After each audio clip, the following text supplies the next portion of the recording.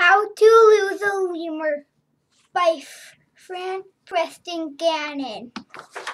Everyone knows that once a lemur takes a liking to you, there's not much that can be done about it. So when a lemur tried to play with me one morning in the park, I didn't want to play with it. I tried hiding up in a tree, but more lemurs came.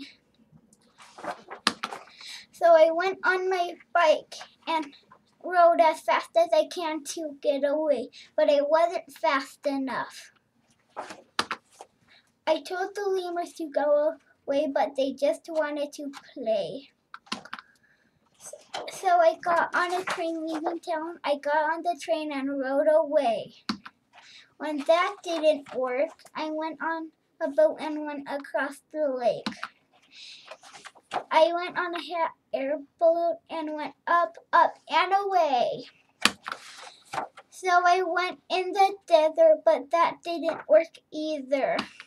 So I climbed up a snowy mountain through the snow and cold wind. But when I thought they were gone, I realized that I had traveled very, very far from home and didn't know how to get back. I was lost all alone. Then I saw the lemurs and they took me by the hand and we went over the mountain, back through the desert, back on the hot air balloon, back across the lake, back on the train, and home at last. Then I realized the lemurs could be friends with me because everyone knows once a lemur takes a liking to you, there is not much that can be done about it.